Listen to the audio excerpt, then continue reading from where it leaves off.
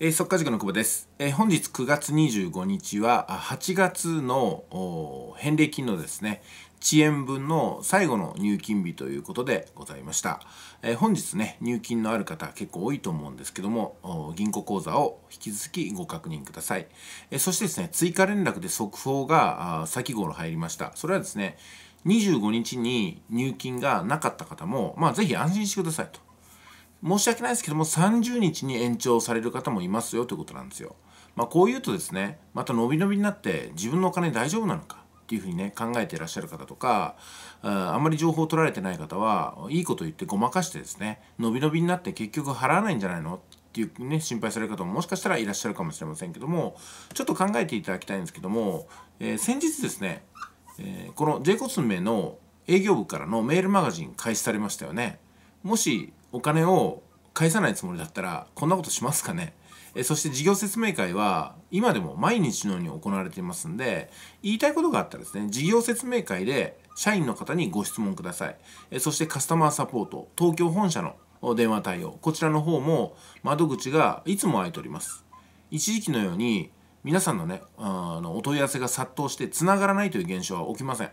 え、そしてつながらないという現象を予見した私は私をはじめアップラインで、えー、動ける方はですね私に質問をしてくださいという形でメッセージを皆さんにね送り続けてきたと思います。私は毎日毎日皆さんの対応をして毎日毎日皆さんのまあ、ご対応といいますかね回答をさせていただきました。その結果多くの方は安心してね不安はあるけどもあ大丈夫なんだろうなと。じゃあ久保さんを信じて待とうかなっていうふうに考えてくださったかもしれません。そうですねあの私を信じる必要はないんですけども自分がね選んだものはあ特にねこういう時が起きたからといって、えー、否定することはないんではないかなと思います。まあ今でもそうなんですけども私たちは事業参加してるわけですよね。えー、そして入金が遅れたのは確かにね追求すべきことではあると思いますけどもその入金遅れに対して J コスメの社員さんは末端に至るまでですね一日も早く一人でも多く入金がなされるように日々活動してくださったんですよ。その方たちにも暮らしがありますからね自分の時間がありますからねでもそれをなぎ打ってですね私たち会員様一人一人のために頑張ってくれたわけなんですよね。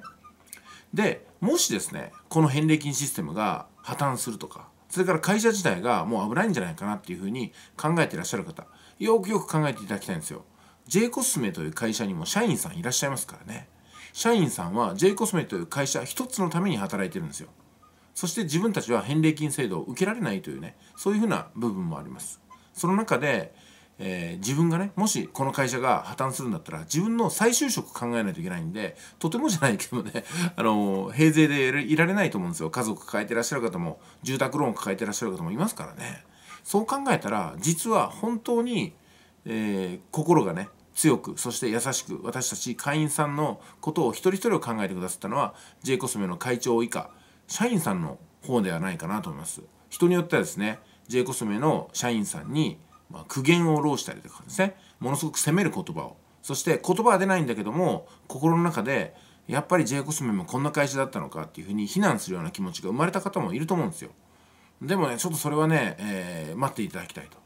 と。誰も皆さんにね会員さんに迷惑をかけるためにやってるわけではないんですよ。中小企業のすることですから計画通りにいかないこともあるわけなんですよ。うん、それは私たちが普段暮らしているそのパート先とかバイト先とか勤めている会社こういったものに対しても感じることではないですかね。その中でも J コスメっていう会社は私たちがほとんど何もしないのにずっとですね、え、大きな利益を運んでくれたということはもう消せない事実なんですよ。こういったあ感謝の積み重ねがあるのにでも少しの間違いをねやっぱりこう許さずに責め立てるっていうのはちょっとあまりにもやりすぎなんではないかなと思いますけど皆さんいかがお感じでしょうか？さあそれではですね今回の動画はですね別に説教したいわけではなくてですねそうではなくて25日に漏れた方も大丈夫ですよと30日までもしかしたら伸びるかもしれませんけども今月中に誰一人困ることなく誰一人1円たりとも漏らすことなく皆さんにお返ししようとしているこの J コスメの会社の姿勢が見えてきたんではないかなと思うんですよ。で私はですね7月6月この辺りから何が起きても私はね心をしっかり持っていようと。そして私は多くの方に対して J コスメを代表するようなねそこまでの責任を持って、えー、個人的にですけどもお伝えできることがあれば対応していこうと思いました。私は途中に J コスメに頼まれたわけでもないですし J コスメの社員ではないですけどもやっぱりねアップラインとしてのこれ役割当然の役割だと思うんですよ。人を紹介しといて危ないことが起きたら私知りませんとかよく分かりませんとかえー、事業説明会もよく理解してませんとかねそういうんではなくって何か困った時がこの事業そしてこの J コスメという会社にあった時に自分がねどんな役割を全体に対してやっていけるのかどうやってお役に立てるのか恩返しできるのかってことを常に意識しようかなというふうに考えているところなんですよね。まあ、そうなってくると何が起きてもまあ、何でもかんでもね安心しろってわけじゃないんですよ。やっぱ不安要素はきちんと見ていかないといけないと思いますけどもその不安要素を見た上で全体的に大丈夫じゃないかっていうふうに考えてですねやっぱり不安に思われてる方をこう安心させていくっていう責任があると思うんですよ。こうやって責任責任って言いますけどこれ何を意味してるかっていうとあのあんまりね勝手なことを言うと自分に責任がかかってくるじゃないかっていう心配から皆さんは多くの方はですね人に対する発言を渋ってしまう傾向にあるのもよくわかります。でもですね自分が責任を取らなくてどうするんですかってことなんですよ。これネットワークビジネスなわけですから。ネットワークビジネスっていうのは一人一人が責任を持つ事業者ですからね。あの J コスメっていう会社に事業参加してるわけですから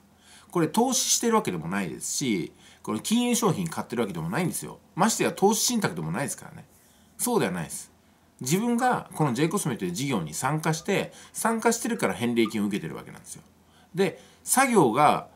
作業の割合が非常に低いから普段意識ないと思いますけども私たちはですね J コスメの社員と同じようなこと同格のことをしてもいいわけなんですよ。そういうふうにして一つ一つ私たちは見ていかなくてはならないのかなと思います。やっぱりね危ないことが起きた時だけ被害者面するのはそれはもう事業参加でも何でもなくて単なるたかりになってきますんでねやっぱり安心してやっていただくためにも私もね一生懸命、えー、事業説明会参加したりとか会社のコミュニケーションを取ったりとか情報を取ったりとか再配信したりとかいろんな仮説を立てながら進めておりますけどもこういうことを通じてですね今回みたいなトラブルを通じて自分には何ができていたのかなと自分は何をするべきだったのかなってことをね一つ一つ進めていけばどうですかね良くなってくるんじゃないかなと思います。その思いの積み重ねがこの J コスメという会社を本当にね100年続く会社にすると思います。不安を煽る方はうまくいってる事業すら潰してしまうんですよね。えー、そんな形でございます。えっ、ー、と、今月最後の、これは J コスメのメッセージになるかなと思いますけども、えー、本当にね、え7月、8月と、私のお話にお付き合いいただきましてありがとうございました。えー、信じていただいた結果、あ今日のようなね、J コスメの事業復旧につながったんだと思います。それでは一旦失礼します。